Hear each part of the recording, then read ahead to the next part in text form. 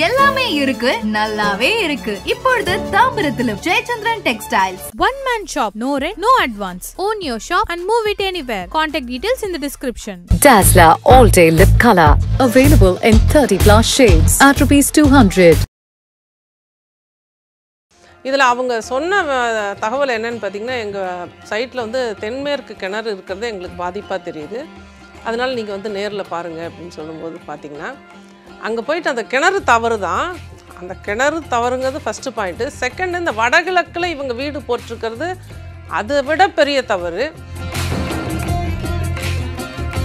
அஹ், வந்து ஒரு பயமாக பார்க்க வேண்டிய ஒரு சூழ்நிலையாக இது ஒரு கன்ஸ்ட்ரக்ஷன் பண்றப்போ ஒரு இன்ஜினியரை கேட்டு அது மாதிரி தான் பண்ணிருப்பாங்கல்ல மேடம் அப்ப அவங்களுக்கு வாஸ்து தெரியாம இல்லை இன்ஜினியர்ஸ் தான் இதில் ரொம்ப தப்பு பண்ணுறாங்க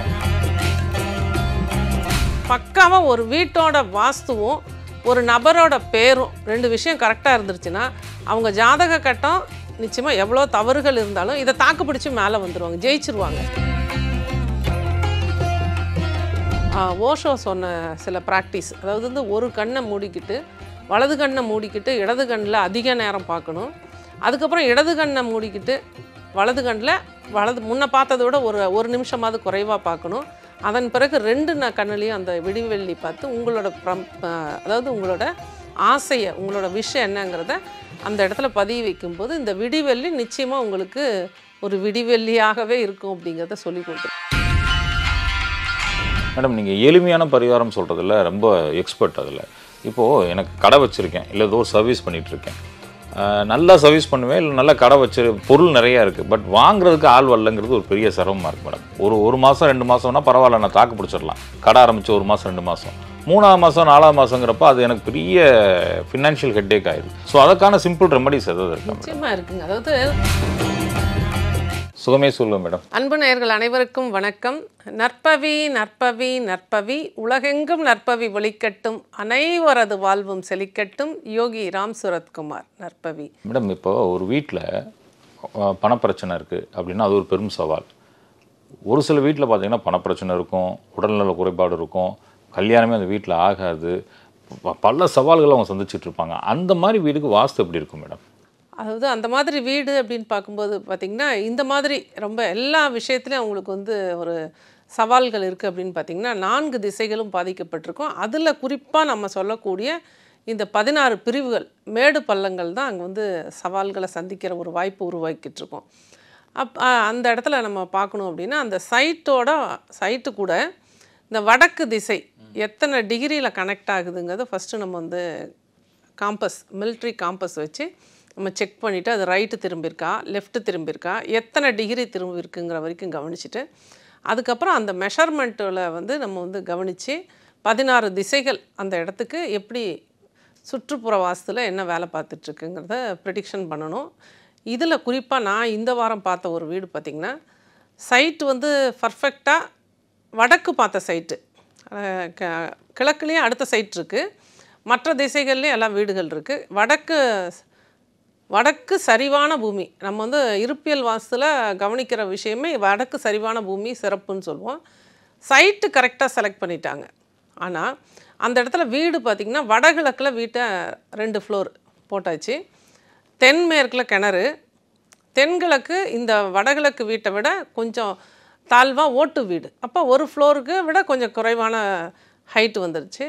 என்ட்ரி பார்த்திங்கன்னா நார்த் வெஸ்ட் என்ட்ரி நார்த் வெஸ்ட்டில் காலி இடம் அதிகம். அப்போ அந்த இடத்துல நார்த் வடமேற்கு லோடு இல்லாமல் க தா அந்த அந்த சைட்டுக்கு உண்டான மெயின் கேட்டு அந்த இடத்துல அமைஞ்சிருச்சு. அப்போ டோட்டலாக பதினாறு திசைகளும் பாதிக்கப்பட்டிருக்கு. இதில் அவங்க சொன்ன தகவல் என்னென்னு பார்த்திங்கன்னா எங்கள் சைட்டில் வந்து தென்மேற்கு கிணறு இருக்கிறது எங்களுக்கு பாதிப்பாக தெரியுது.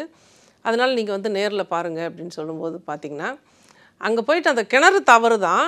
அந்த கிணறு தவறுங்கிறது ஃபஸ்ட்டு பாயிண்ட்டு செகண்ட் இந்த வடகிழக்கில் இவங்க வீடு போட்டிருக்கிறது அதை விட பெரிய தவறு. ப்ளஸ் வந்து பார்த்திங்கன்னா அதை அதுலேருந்து பார்த்திங்கன்னா அந்த வடமேற்க ஓப்பனாக வச்சுருக்காங்க இல்லைங்களா? அது பண்ணுற விஷயந்தான் இவ்வளவுமே. எல்லா மோஸ்ட் ஆஃப் த சைட்டில் பார்த்திங்கன்னா வடமேற்கு இஷ்யூ தான் இருக்கும். எங்கெல்லாம் வந்து கடன்கள் இருக்குது உறவுகளில் பிரச்சனை இருக்குது டிசீஸ் நோய்கள் அதிகமாக இருக்குது வருமானமே வராமல் இருக்குது இல்லை ஒரு பிஸ்னஸ் நடத்துகிறாங்கன்னா அங்கே வந்து அந்த டிரான்சாக்ஷனில் இஷ்யூ இருக்குது இல்லை அவங்கள யாராவது ஏமாற்றிட்டுருப்பாங்க இல்லை இவங்க ஏமாற்றும் பேர் வழியாக இருப்பாங்க. இதில் சிம்பிளாக பார்த்தீங்கன்னா ஃபாஸ்ட் நம்ம வந்து டோலில் நிற்கிறாங்க இல்லைங்களா? அந்த அதில் கூட ஏமாத்துறவங்க இருக்காங்க. யாராவது ஒருத்தர்கிட்ட ஒரு பெரிய ஆளுங்கிட்ட ஒர்க் பண்ணுவாங்க. அவங்களோட டேகை இவங்க வந்து போட்டு ஓட்டிட்டு போவாங்க. இந்த மாதிரி குணம் உள்ளவங்க வீட்டை கூட நான் செக் பண்ணியிருக்கேன். ஏன் இவங்களுக்கு அந்த குணம் இருக்குது இவ்வளோ பெரிய ஆளுங்க. அவங்க அவங்கக்கிட்ட அவ்வளோ மணி இருக்குது ஆனால் இவங்களுக்கே இந்த சின்ன கேரக்டர் இருக்குன்னு பார்த்தீங்கன்னா அங்கே வடமேற்கு பிரச்சனை இருக்கும். இந்த மாதிரி தவறுகள் எல்லாம் ஏற்படுத்தக்கூடிய திசைகள் ஒவ்வொன்றும் இருக்குது இதில் அந்த வீட்டில் நான் ப்ரிடிக்ஷனில் எடுத்தது இந்த தென்மேற்கு கிணறு நிச்சயமாக பாதிப்பு தான். அதை தாண்டி இவ்வளோ விஷயங்களும் உங்களுக்கு டோட்டலாக பாதிச்சிட்ருக்கு அப்படின்னு சொல்லிட்டு அந்த இடத்தோட பதினாறு திசைகள் எப்படி இருக்குன்னு செக் பண்ணியாச்சு. வடக்கு வந்து பதினஞ்சு டிகிரி லெஃப்ட் டில்ட் ஆகிருந்தது அப்போ அங்கே போட்டிருந்த செப்டிக் டேங்க்கு சம்பு எல்லாமே தவறாக போச்சு. ஏன்னா வடகிழக்கு ஒட்டி வீட்டை போட்டுட்டு ச அந்த சம்பு வந்து தென்கிழக்கில் போட்டிருக்காங்க. செப்டிக் டேங்கை கொண்டு போய் வடமேற்கு மேற்கில் போட்டிருக்காங்க. டோட்டலாக எல்லாமே தவறாக அந்த அதாவது ஒன்று அந்த இடத்துல வந்து எப்போ எப்படி அவங்க வந்து இந்த அளவுக்கு இப்போ இருக்கிற நிலையிலையாவது எப்படி இருக்காங்கங்கிறது ஒரு நம்ம வந்து ஒரு பயமாக பார்க்க வேண்டிய ஒரு சூழ்நிலையாக இது ஒரு கன்ஸ்ட்ரக்ஷன் பண்றப்போ ஒரு இன்ஜினியரை கேட்டு அது மாதிரி தான் பண்ணியிருப்பாங்கல்ல மேடம் அப்போ அவங்களுக்கு வாஸ்து தெரியாம இல்லை வந்துருக்குமா இன்ஜினியர்ஸ் தான் இதில் ரொம்ப தப்பு பண்ணுறாங்க ஆ. வீட்டுக்குள்ளே சம்பை போடுறாங்க வீட்டுக்குள்ளே செப்டிக் டேங்கை போடுறாங்க. கேட்டால் இடம் சின்னதாக இருக்குது வேறு வழி இல்லை. பிளானில் இப்படி தான் வரும். ஏன்னா இப்போ நான் வந்து போகிற இடங்கள்ல பிளான் நீங்கள் போட்டு அனுப்புங்க நான் செக் பண்ணி தரேன்னு சொன்னால் அவங்க நம்மளை கன்வின்ஸ் பண்ணுறாங்க நீங்கள் வந்து வடகிழக்கில் இந்த வடகிழக்கில் வரலான்னு தானே எல்லா வாஸ்துலையும் சொல்கிறாங்க அது வடகிழக்கில் வீட்டுக்குள்ளே போட்டால் என்ன? வடமேற்கில் செப்டிக் டேங்க்கு வீட்டுக்குள்ளே போட்டால் என்ன நடந்துரும்? அப்படி என்ன நடக்குங்கிறத நம்ம ஆய்வு பண்ணி வச்சுருக்கோம் ரிசர்ச் பண்ணி வச்சுருக்கோம். அதை சொல்கிறதுக்கு அவங்க வந்து நம்மளை வந்து காம்ப்ரமைஸ் பண்ணுவாங்க. இடம் ரொம்ப கம்மியாக இருக்குது இப்படி தான் கட்ட முடியும் அப்படின்னு சொல்லி. ஆனால் நான் சொல்கிற வீடு பார்த்திங்கன்னா கொஞ்சம் கிராமத்தில். அவங்களுக்கு வந்து இந்த வாஸ்து பற்றி அவங்க நாலேஜோடு இருக்காங்க. ஆனால் வீடு கட்டினது கிட்டத்தட்ட பதினஞ்சு வருஷத்துக்கு முன்னாடி கட்டியிருக்காங்க. அதில் பார்த்தீங்கன்னா இல்லை இன்றைக்கி வந்து அவங்க இருக்கிற சூழ்நிலை பார்த்திங்கன்னா பேரண்ட்ஸ் அந்த தாய் தான் அப்பாவும் அம்மாவும் வந்து ஒரு அறுபது வயசை கடந்தவங்க. இன்னுமே வந்து பிள்ளைங்க வந்து செட்டில் ஆகாமல் இருக்குது செட்டில்னா என்ன? மேரேஜ் ஆகாமல் இருக்காங்க. ஒரு நல்ல தொழில் அமையாமல் இருக்குது அந்த குடும்பத்துக்கு நல்ல வருமானம் வராமல் இருக்குது அது இல்லாமல் ஒரு பையனை இழக்கக்கூடிய சூழ்நிலை அந்த சைட்டு கொடுத்துருக்கு. ஒரு மூத்த மகனை இழக்கக்கூடிய ஒரு சூழ்நிலை கொடுத்துருக்கு.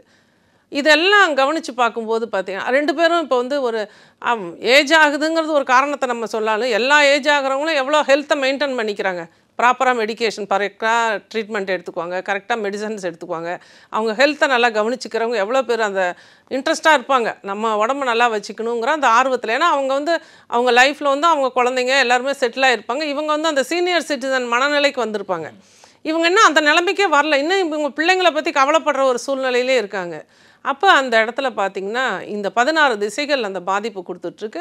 இதில் குறிப்பாக இந்த வடகிழக்கில் அமைஞ்ச இந்த வீடு தான் இந்த லோடு. வடகிழக்கு அப்படின்னா பள்ளம் அப்படிங்கிற ஒரு விஷயத்தை விட்டுட்டு அந்த இடத்துல ரெண்டு ஃப்ளோர் வீடுங்கிறது லோடு. மேடாயிடுச்சு. அது தென்மேற்கு வந்து மேடாக இருக்கணும். இந்த லோடு தென்மேற்குக்கு போயிருக்கணும். அங்கே பார்த்தீங்கன்னா அந்த கிணறுங்கிறது பள்ளம் ஆயிடுச்சு. அங்கே வந்து அந்த வெற்றிடம் அப்படிங்கிறது அங்கே வந்துருச்சு. அப்படியே டோட்டலாக அந்த ஆப்போசிட்டாக அந்த வீட்டை வந்து அந்த குடும்பத்தை வந்து அந்த அவ்வளோ பாதிப்புகளை கொடுத்துட்ருக்கு. சரி இப்போ நம்ம அங்கே போய் பார்க்கும்போது பார்த்திங்கன்னா இந்த பதினைந்து ஆண்டுகளில் எல்லாமே இழப்புகள். வரவுங்கிறதே கிடையாது. ஏன்னா அந்த வீடு வரவு வரவுக்குண்டான அந்த நாற்பத்தஞ்சு டிகிரி அது லாக் பண்ணி வச்சுருக்கு. அப்போ அந்த இடத்துல வருமானத்தை எதிர்பார்க்கவே முடியல. கூடுதலாக அந்த வடக்கு பார்த்த சரிவான அந்த பூமி வந்து கிட்டத்தட்ட ஒரு அவங்க வாங்கினப்போ வந்து வடக்கு சரிவான பூமி அந்த வடக்கில் ஒரு ரோடு போகும் இல்லைங்களா? அதை வந்து கார்ப்பு அந்த கிராமத்தில் ரோடு போடும்போது மாற்றி போட்டிருக்காங்க. கிழக்கு சரிவாக வந்துட்டு இருந்த அந்த ரோடு மேற்கு சரிவாக போயிடுச்சு.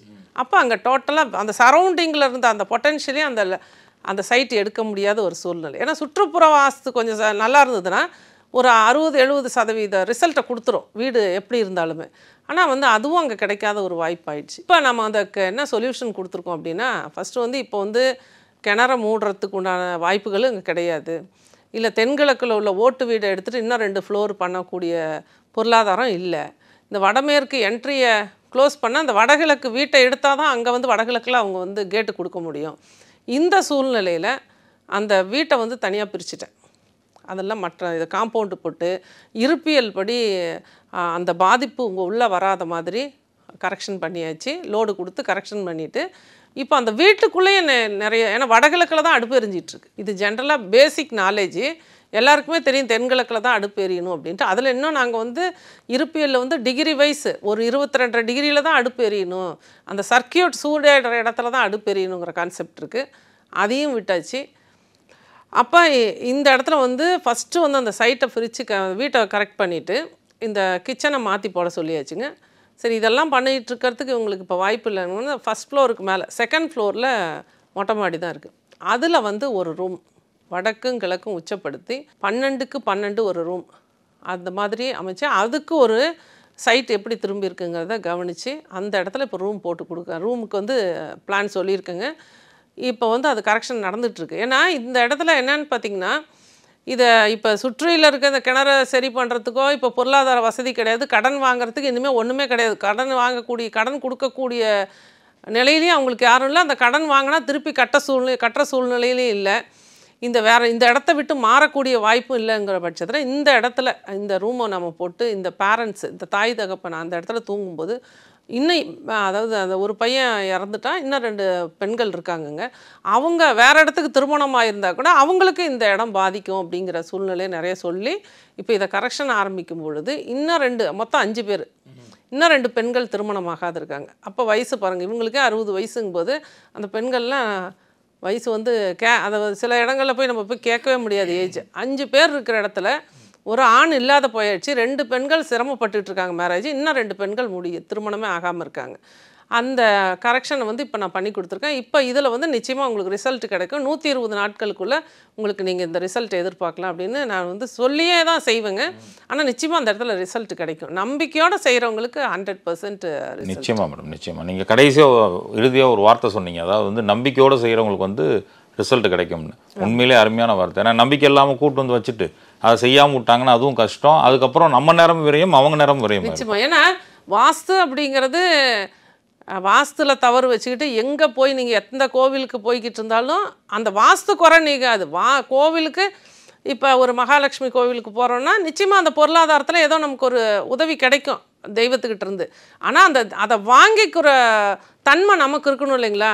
ஐயா அது கோவிலுக்கு போகிறவங்க எல்லாருக்குமே அந்த விஷயம் நல்லது நடந்துறது கிடையாது. அங்கே போய் நம்ம வந்து ஏன் எனக்கு கிடைக்கலன்னு நம்ம வா வாதாட முடியாது. ஆனால் வந்து அந்த அந்த கொடுப்பனை நமக்கு இருந்தால் தான் இறைவன் கொடுக்குற விஷயத்தை கூட நம்ம வந்து அனுபவிக்க முடியும். அப்போ இதுக்கு வந்து பக்காவாக ஒரு வீட்டோட வாஸ்துவும் ஒரு நபரோட பேரும் ரெண்டு விஷயம் கரெக்டாக இருந்துருச்சுன்னா அவங்க ஜாதக கட்டம் நிச்சயமாக எவ்வளோ தவறுகள் இருந்தாலும் இதை தாக்கு பிடிச்சி மேலே வந்துடுவாங்க ஜெயிச்சிருவாங்க. ஏன்னா வந்து எல்லாரோட ஜாதகமும் பர்ஃபெக்டாக இருக்காது எல்லா நேரமும் நல்லா இருக்காது நல்லா இருக்குங்கிறது உறுதியாக சொல்ல முடியாது. எல்லாருக்குமே ஏற்றத்தாழ்வுகள் இருக்கத்தான் செய்யும்.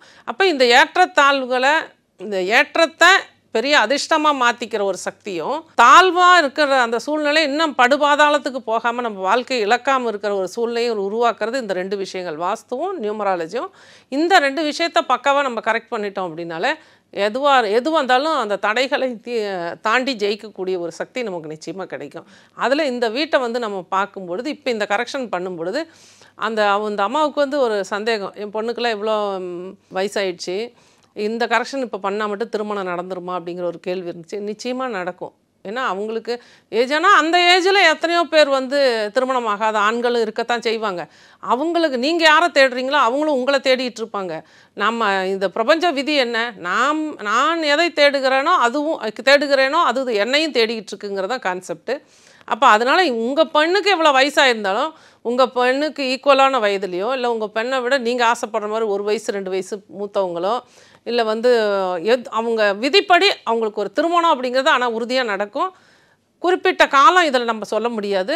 நீங்கள் உங்களோட பிராப்தம் நிச்சயமாக இது நடக்கும். ஆனால் வந்து இன்றைக்கி நடக்கும்னு என்னால் சொல்ல முடியாது. ஆனால் உறுதியாக நடக்கிறதுக்கு உண்டான வாய்ப்பை நம்மளால் உருவாக்கி தர முடியும். நீங்கள் நீங்கள் அதுக்கு மேலே உங்கள் மனசு நம்ம இப்போ நம்ம இதெல்லாம் கரெக்ஷன் பண்ணிட்டோம். இத்தனை வயசுக்கு அப்புறமும் நம்ம பிள்ளைங்களுக்கு கல்யாணம் நடக்குங்கிற நம்பிக்கை வைங்க. மேனிஃபெஸ்ட் பண்ணுங்கள் அதிகாலையில் பிரம்ம முகூர்த்தத்தில் இருந்து இந்த பிரபஞ்சத்துக்கிட்ட உங்கள் முன்னோர்கள்கிட்ட பிரார்த்தனை பண்ணுங்கள் விடிவெள்ளி பாருங்கள் விடிவெள்ளின்னு சொல்லி ஒரு நட்சத்திரம் இருக்கும். இந்த கிராமப்புறங்களில் நிறைய பேருக்கு தெரியும். இருந்தாலுமே இன்றைக்கி வந்து நிறைய இடங்கள் நம்ம சொல்ல வேண்டியதாக இருக்குது அந்த விடிவெள்ளியை பார்த்து ஓஷோ சொன்ன சில ப்ராக்டிஸ் அதாவது வந்து ஒரு கண்ணை மூடிக்கிட்டு வலது கண்ணை மூடிக்கிட்டு இடது கண்ணில் அதிக நேரம் பார்க்கணும். அதுக்கப்புறம் இடது கண்ணை மூடிக்கிட்டு வலது கண்ணில் வலது முன்ன பார்த்ததை விட ஒரு ஒரு நிமிஷமாவது குறைவாக பார்க்கணும். அதன் பிறகு ரெண்டு ந கண்ணுலையும் அந்த விடிவெள்ளி பார்த்து உங்களோட ப்ரம் அதாவது உங்களோட ஆசையை உங்களோட விஷயம் என்னங்கிறத அந்த இடத்துல பதிய வைக்கும்போது இந்த விடிவெள்ளி நிச்சயமாக உங்களுக்கு ஒரு விடிவெள்ளியாகவே இருக்கும் அப்படிங்கிறத சொல்லி கொடுத்துருக்கேன். இந்த மாதிரி நிறைய டெக்னிக் சொல்லி தரேங்க. நிச்சயமா மேடம். நீங்கள் வாஸ்து மட்டும் சொல்லாமல் அவங்களுக்கு அடிஷ்னல் அந்த கவுன்சிலிங் கொடுக்குறதா ஒரு ஸ்பெஷாலிட்டி உங்கள்கிட்ட. நிச்சயமா. ஏன்னா வெறும் வாஸ்து பண்ணிட்டு இதை பண்ணிட்டு வந்துருங்கன்னு சொல்றது இல்ல அந்த மீன் டைம் நீங்கள் இதை பண்ணிக்கிட்டே இருங்க. இந்த பணம் பொருளாதாரம் வந்து வாஸ்துவையும் பார்த்துக்கலாம்னு சொல்றது ஆமாங்க. ஸ்பெஷாலிட்டி அவங்க செய்யும் பொழுது அவங்க எந்த இடத்துலயும் அவங்க வந்து பதினஞ்சு வருஷமா நடக்காத விஷயம் இனிமே நடக்குமா அப்படின்னு ஒரு நிமிஷம் நினைச்சிட்டாங்கன்னா நிச்சயமா நடக்காது. அந்த இடத்துல அவங்களுக்கு ஒரு நம்பிக்கை ஒரு சங்கல்பம் எப்படி வைக்கணும்? இப்போ வந்து மகாலயபட்சத்தில் வந்து வந்து இப்போ பிரார்த்தனைகள் போயிட்டுருக்கு. நல்ல நிறைய இப்போ வந்து விழிப்புணர்வு மக்கள்கிட்டையும் வந்திருக்கு. நல்லா வந்து பதினஞ்சு முன்னாடிலாம் வந்து மகாலயபட்சம்னா அன்னைக்கு மட்டும் செய்யணுங்கிறது போய் இன்றைக்கி ஒவ்வொரு நாளும் நம்மளோட முன்னோர்களுக்கு எப்படி நம்ம பிரார்த்தனை பண்ணணும்னு எல்லாருமே பண்ண ஆரம்பிச்சிட்டாங்க. அந்த இடத்துல வந்து நம்பர்ஸ் கொடுக்குறேன். அதாவது நம்மளோட முன்னோர்களோட நம்மளோட ஆன்சஸ்டர்ஸோட பிளெஸ்ஸிங்ஸ் வந்து நம்மளுக்கு கிடைக்கணும் அப்படின்னா ஒரு எண் இருக்குது அந்த எண்ணை வந்து டெய்லி ஐம்பத்தி நான்கு முறை எழுதுங்க. பிளெயின் லாங் சைஸ் நோட் புக்கில் பச்சை கலர் பேனால் எழுதுங்க.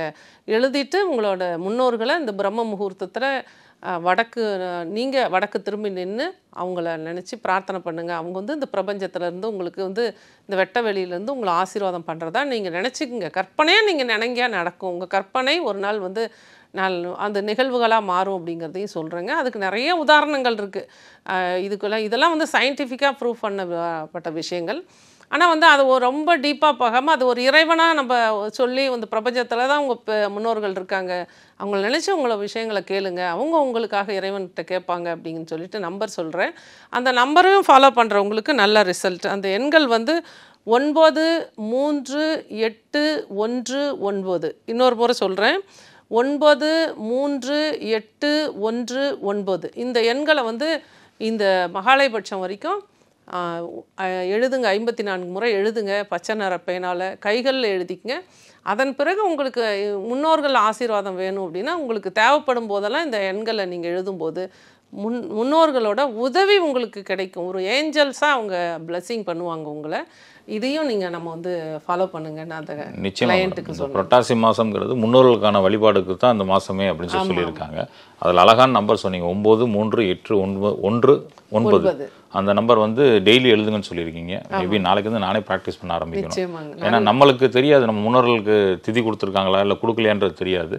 பட் இந்த ஒரு நம்பர் நம்ம லைஃப்பை மாற்றுங்கிறப்ப பெரிய விஷயம். ஏன்னா இப்போ அப்பா இருக்காரு நம்ம உங்களுக்கு. அப்பா அப்பாவுக்கு அப்புறம் தான் நீங்கள் இதெல்லாம் பண்ண முடியும். இப்போ அவருக்கு வந்து இதெல்லாம் கொஞ்சம் ஏஜ் ஆகிறதுனால அவரோட ஹெல்த் கண்டிஷன் எல்லாம் பார்த்துட்டு இதெல்லாம் அவர் செய்யறதுக்கு விருப்பமும் பட மாட்டாங்க சில பேர் ஏஜ் ஆகும்போது அவங்க ஹெல்த் கண்டிஷனை பார்க்குறதே பெரிய விஷயமா இருக்குது பித் தர்ப்பணங்கிறத கூட இப்போ கொஞ்சம் பெரியவங்க யோசிக்கிற மாதிரி ஒரு சூழ்நிலைங்கிறதால நம்ம இதை எழுதும்போது நம்மளோட முன்னோர்களோட ஆசீர்வாதம் நிச்சயமாக கிடைக்கும். இது வந்து நார்த் இந்தியன்ஸ் ப்ராக்டிஸ் பண்ணுற நம்பர் இது. அந்த நிறைய அவங்கக்கிட்ட நான் வந்து கிளாஸஸ்லாம் இன்னும் போயிட்டு தான் இன்னும் மாணவியாக தான் நான் இருக்கேன். ஒவ்வொரு நாளும் நான் கற்றுக்கொள்ள விஷயத்த நான் ப்ராக்டிஸ் பண்ணி அதை வந்து மக்களுக்கு சொல்கிறோம் நல்ல ரிசல்ட் அது நம்பிக்கையோடு செய்யணும். அந்த நம்பிக்கை தான் உங்களை ஜெயிக்கும். இன்றளவும் நீங்க மாணவியா இருந்து கத்துக்கிட்ட விஷயத்த கத்துக் கொடுக்குறீங்க. அதுதான் பெரிய விஷயமா இருக்கு. அதுவும் நீங்க ஒரு பெரிய அமௌண்ட் கொடுத்து கத்துக்கிறீங்க. அதை நம்ம நேயர்களுக்கு வந்து யூஸ் பண்ணி பாருங்கன்னு சொல்லி கொடுத்துறீங்க. அதுவே ரொம்ப பெரிய விஷயம். நிச்சயமா. அது வந்து க பொதுத்தளத்தில் நம்ம கொடுக்கும்போது நிறைய பேர் ஃபாலோ பண்ணுறாங்க சாதாரணமாக இன்னைக்கு ஒரு லைவ்ல கூட என்ன கேட்குறாங்க அம்மா நீங்கள் வந்து இந்த செவ்வாழை பழம் போட்டு குளிக்க சொ உடம்புல பூசி குளிச்சிக்கங்கன்னு ஒரு வீடியோவில் சொல்லியிருக்கேன். அது நாங்கள் குளித்ததுக்கப்புறம் எங்கள் எங்களுக்கு வந்து நிறைய மாற்றங்கள் வந்திருக்கு அப்படின்னு அவங்க சொல்கிறாங்க அதில் ஒருத்தர் கேட்குறாங்க எதுக்காக குளிக்கணும்? அப்படின்னு சொல்லிட்டு. இதெல்லாம் வந்து ஆறா கிளென்சிங்க்கு உண்டான விஷயங்கள். அதில் வந்து செவ்வாழை பழம் செவ்வாய்க்கிழமையில். நல்லா மிக்ஸ் பண்ணிக்கிட்டு நல்லா க களை அதாவது நல்லா பிசைஞ்சிக்கிட்டு அது வந்து உடம்பு முழுக்க பூசிக்கிட்டு ஒரு ஃபைவ் மினிட்ஸ் வெயிட் பண்ணும். நம்ம ஆறாவில் உள்ள நெகட்டிவ்ஸ்லாம் கிளென்சிங் ஆகும். அந்த என்டிட்டிஸ் எனி எனர்ஜிஸ்ன்னு சொல்லுவாங்க பிராணி ஹீலிங்கில் அதை பூசிட்டு குளிக்கும்போது பார்த்திங்கன்னா நம்ம அந்த உடம்பே வந்து ஒரு லேசாக இருக்கும். மனசு லேசாயிரும். மனசில் ஒரு பயம் ஒரு க ஒரு எதிர்காலத்தை பற்றி பயமோ இல்லை ஒரு யாருக்கிட்டையாவது நம்ம ஒரு பைசா வாங்கியிருப்போம் அவங்க கேட்டுருவாங்களே என்ன ப அதுக்கு வந்து அதுக்குண்டு அது பயப்படுறது ஒன்றும் சொல்யூஷன் கிடையாது. இந்த ஒருத்தர்கிட்ட கடன் வாங்கினோம்னா அந்த கடனை கட்டுறதுக்கு என்ன வாய்ப்புன்னு தான் நம்ம பார்க்கணுமே தவிர ஆனால் வந்து சில பேர் என்ன பண்ணுறாங்கன்னா அந்த கடன்காரங்களை எப்படி ஆஃப் பண்ணலாம் அப்படின்னு சொல்லி ஃபோன் பண்ணியே கேட்பாங்க. கடன்காரன் என்ன கடன் கேட்காம இருக்கிறதுக்கு என்ன நம்பர் இருக்குன்னு கேட்பாங்க. நான் சொல்லுவேன் உங்களுக்கு கடன் கட்டுறதுக்கு உண்டான வாய்ப்புக்கு உண்டான நம்பர் இருக்குது இல்லை வேற ஒருத்தவங்க சொல்லியிருக்காங்க கடன் கொடுத்தவரோட பேருக்கு அர்ச்சனை பண்ணனா எங்களை கடன் கேட்க இப்படியெல்லாம் வந்து மக்கள் வந்து இருக்கிற சூழ்நிலையில் இந்த நம்பர்ஸ் சுவிட்ச் வேர்ட்ஸு இதெல்லாம் பார்த்திங்கன்னா ரொம்ப அழகாக வேலை பார்க்குது. ரொம்ப நார்த் இந்தியன்ஸ் பாருங்கள் இந்த மாதிரி சின்ன சின்ன விஷயங்களை தான் டெக்னிக்ஸ் இந்த தாந்திரிக் மாதிரி பண்ணிட்டு அவங்க நல்ல. ரிசல்ட்ஸ் எடுக்கிறாங்க. நல்ல ரிசல்ட்ஸ் இந்த பிரியாணியால தாந்திரிக்ஸ் எல்லாம் பார்த்தீங்கன்னா அதெல்லாம் அமோகமான ரிசல்ட் ஒரு ஒன்றாம் தேதி அல்லது பௌர்ணமி வெள்ளிக்கிழமையில நீங்கள் வந்து அந்த சுருள்பட்டை பொடி சொன்னோம் இல்லைங்களா அது மாதிரி இந்த பிரியாணி இலையில இந்த நம்ம ஏற்கனவே சொன்ன போன வாரம் கூட சொன்னோம் இல்லைங்களா? இந்த one nine nine six two one one four seven பணத்துக்கு உண்டான நம்பர். அந்த நம்பரை எழுதி நம்ம வேலெட்டில் வச்சுக்கிறது மணி அட்ராக்ஷனுக்குன்னு சொல்லி இந்த மாதிரி அந்த ப சுருள் பட்டை பிரியாணி இதில் நிறைய விஷயங்கள் தாந்திரிக்ஸ் இருக்குங்க. மேடம் நீங்கள் எளிமையான பரிகாரம் சொல்கிறதுல ரொம்ப எக்ஸ்பர்ட் அதில். இப்போது எனக்கு கடை வச்சுருக்கேன் இல்லை ஏதோ சர்வீஸ் பண்ணிகிட்ருக்கேன் நல்லா சர்வீஸ் பண்ணுவேன் இல்லை நல்லா கடை வச்சு பொருள் நிறையா இருக்குது பட் வாங்குறதுக்கு ஆள் வரலங்கிறது ஒரு பெரிய சிரமமாக இருக்குது மேடம் ஒரு ஒரு மாதம் ரெண்டு மாதம்னா பரவாயில்ல நான் தாக்கு பிடிச்சிடலாம். கடை ஆரம்பித்து ஒரு மாதம் ரெண்டு மாதம் மூணாவது மாதம் நாலாவது மாதங்கிறப்ப அது எனக்கு பெரிய ஃபினான்ஷியல் ஹெட்டேக் ஆயிடுது. ஸோ அதுக்கான சிம்பிள் ரெமடிஸ் எதாவது இருக்கா நிச்சயமாக இருக்குங்க. அதாவது ஒரு தொழில் அப்படின்னாவே நம்ம பார்க்கக்கூடிய கிரகம் சனி. அப்போ இந்த சனிக்கிழமையில் சில விஷயங்களை சில தாந்திரிக்ஸ் தான் இதெல்லாமே வந்து ஒரு கிரக காரகத்துவத்தை அதிகப்படுத்துறதுக்கு உண்டான விஷயங்கள். இதில் வந்து சனிக்கிழமை காலையில் ஆறு டு ஏழு ஒரு அரச மரத்தடியில் ஒரு சின்ன மண் சட்டி மாதிரி வாங்கிக்கணும். பாத்திரம் கூட வைக்கலாம். அதுக்கு ஒரு செலவு பண்ண நம்ம புது பாத்திரமா இருக்கணும். நம்மளால பழைய பாத்திரத்தை கொண்டு போய் வைக்க முடியாது. அது எவர் சில்வர் பயன்படுத்தக்கூடாது. அதுக்கப்புறம் பார்த்தீங்கன்னா நிறைய விஷயங்கள் நம்ம சொல்லணும். அப்புறம் எட்டு வாரங்கள் பண்ணணும். அப்படிங்கும்போது மண் சட்டி வாங்கிக்கிறதே பரவாயில்ல. மண் சட்டியில் சர்க்கரை அது வலியறதுக்கு வழிய சர்க்கரை போட்டுட்டு அதில் ஒரு பத்து ரூபா காயின் வச்சு அந்த அரச மரத்தடியில் வச்சுட்டு அந்த அரச மரத்தை எட்டு முறை சுற்றி வரணும். இது போல் எட்டு வாரங்கள் பண்ணணும். இதுக்குள்ளே அவங்களுக்கு வந்து அந்த தொழில் வந்து அபிவிருத்தி ஆகிறதுக்கும் அந்த தொழிலில் வந்து அடுத்த அடுத்தது என்ன பண்ணலாம் அப்படிங்கிற யோசிக்கிறதுக்கும் இல்லை ஏன் சில இடங்களில் வந்து கம்மி விலைக்கு வாங்கியிருப்பாங்க ஒரு பொருளை. ஒரு பொருள் வாங்கி விற்கிறோம் அப்படின்னா இருபது பர்சன்ட் அதிகபட்சமாக லாபம் வைக்கலாம் ஆனால் வந்து அதை வந்து நாலு மடங்கு வச்செல்லாம் விற்கிறவங்கள நான் நிறைய பேர் நான் கன்சல்ட்டிங் போகும்போது பார்த்துருக்கேன். ஆனால் அவங்க சொல்லுவாங்க எங்களுக்கு வே பக்கத்து கடையை வந்து நிறைய பேர் வராங்க. எங்களுக்கு வரவே மாட்டேங்கிறாங்க. அப்படின்னா உங்ககிட்ட ஏற்கனவே ஒரு முறை வந்து வாங்கி பார்த்துருப்பாங்க. உங்ககிட்ட விலை அதிகங்கிறதுனால அவங்க வராமல் போகிறாங்க அந்த சூட்சமத்தை அவங்க புரிஞ்சிக்க மாட்டாங்க. சொன்னாலும் புரியாது. அந்த பதில் அவங்களுக்கு அங்கே கிடைக்கும். ஏன்னா அவங்க என்ன தவறு பண்ணிட்டு ஏன்னா சனீஸ்வரன் அப்படிங்கிறவர் நம்ம நம்ம எந்த அளவுக்கு நேர்மையாக இருக்கோமோ அந்த அளவுக்கு அந்த கிரகத்துக்கிட்ட ஈஸ்வரன் பட்டம் பெற்ற அந்த சனீஸ்வரங்கிட்ட நமக்கு நல்ல பலன்கள் கிடச்சிட்டு கிடைச்சிட்டு தான் இருக்கும். கிடச்சிட்டு தான் இருக்குது இன்றளவும் எல்லாருக்குமே. அப்போ அந்த இடத்துல வந்து அவங்க என்ன தவறுகள் பண்ணுறாங்கங்கிறது அந்த அந்த விஷயம் அவங்களுக்கு புரியறதுக்கு ஒரு வாய்ப்பும் ப்ளஸ் வந்து அதெல்லாம் நான் கரெக்டாக பண்ணியிருந்து அவங்களுக்கு தொழில் நடக்கலை அப்படின்னா அந்த இடத்துல இந்த சனி சுக்கரன் இணைவு அப்படிங்கிற ஒரு கான்செப்ட்டு ப்ளஸ் வந்து அந்த நேரம் அப்படிங்கிறது அவங்க அந்த மனநிலை நம்ம தொழில் நல்லா சிறப்பாக நடக்கணும் அப்படின்னு சொல்லி அந்த ஆள் மனதில் விதைக்கக்கூடிய அந்த விதை இது எல்லாமே வந்து அவங்களுக்கு வந்து ரெட்டிப்பான ஒரு ப பலனை கொடுக்கும். அந்த இடத்துல வந்து அந்த தொழில் வந்து விஸ்வரூப வெற்றி. இதுக்கு நம்பரும் இருக்குங்க.